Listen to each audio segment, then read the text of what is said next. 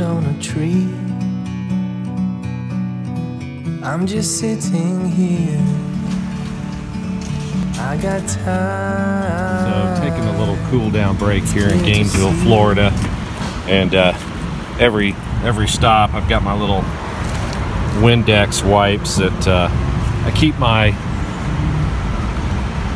helmet clear and my windshield clear. So I just like to keep it the bugs off so I have a nice view, not obstructed. So, but while I'm doing this, I'm getting a little water and just kind of taking it easy here.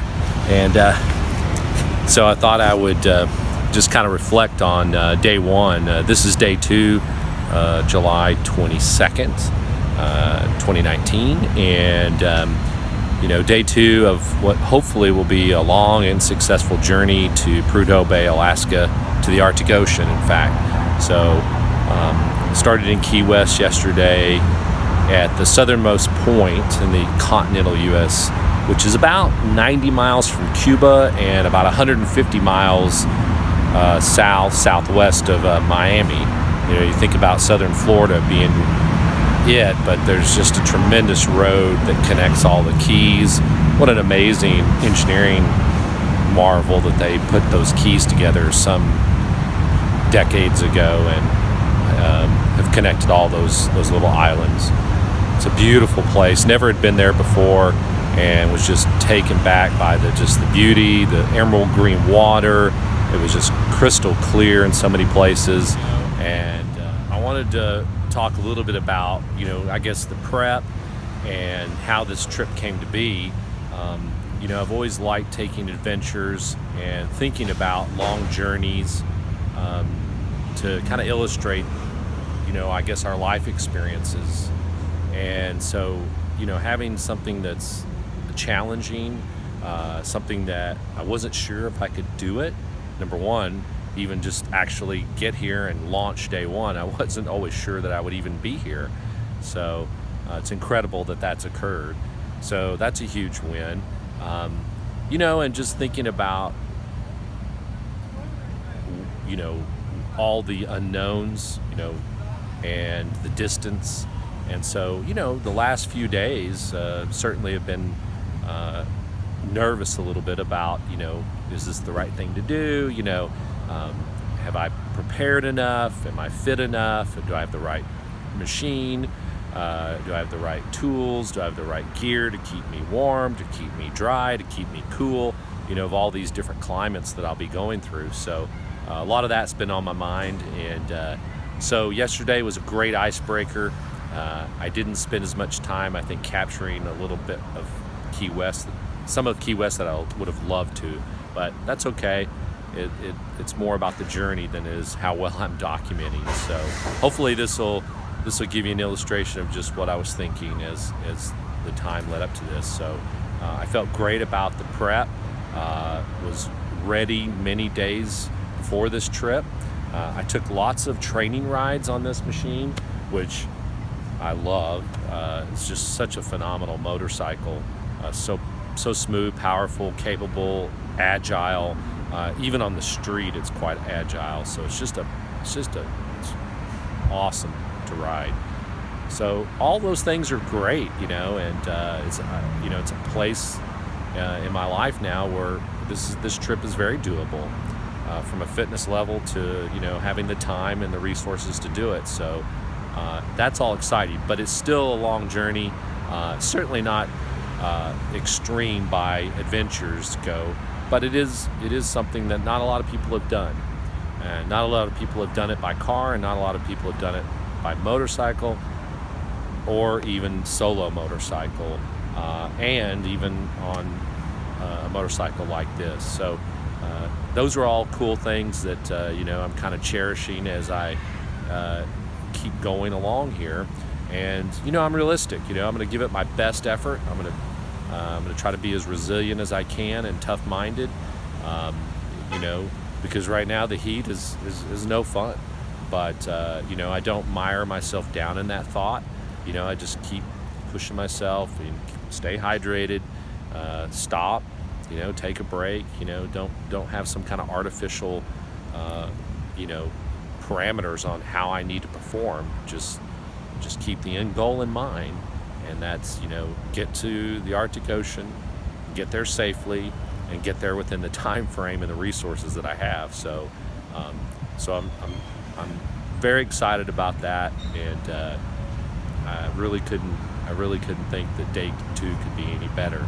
And uh, you know I'm I'm basically running up Interstate 75 uh, for 400 miles. Uh, it's crowded, it's fast, it's hot, uh, and it's not particularly scenic uh, because I got to be paying attention to the traffic. But uh, you know, it's part of the adventure, and things are going to unfold and change as we go along here. So, um, just super excited to be on this, and very, very blessed and fortunate. So, um, you know, my my message, I guess, is this: is that you know, you can do almost anything you want. You know, um, and if you can't actually do it, uh, you know, you could you could get close to it.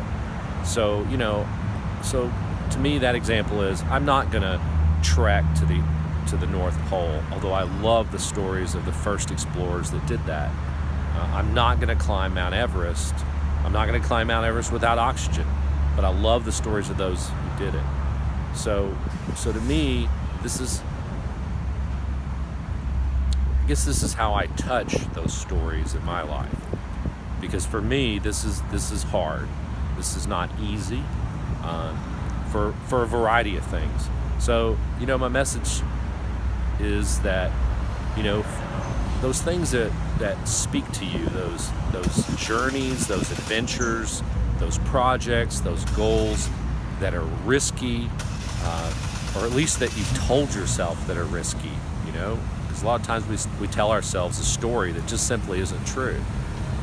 But if those things speak to you and you want to and you really want to pursue them, you know, it's just a matter of just taking the time to set your goals and then pursue them at the expense of other pleasures, expense of other things, especially people taking your time.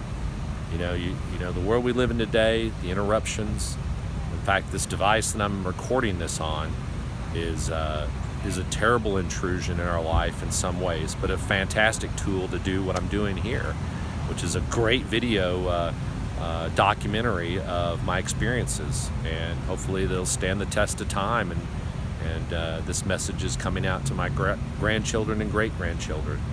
Um, but take risk, and don't let other people dissuade you from that because they will. Because they don't understand what's in your head and they're not walking your path. So don't listen to that crap. So it's doable, and uh, I'm here to prove it. I'm in my 50s. Uh, I was terribly overweight, terribly bad health, uh, and I'm fit, and uh, I've got the resources and time to do this incredible adventure. And uh, so uh, Like a it's, bird it's on just a an amazing thing in my life, and it brings me great joy. I'm just sitting here. I got time. It's clear to see from up here. The world seems small. We can sit together. It's so beautiful. You and me. Meant to be in the great outdoors, forever free.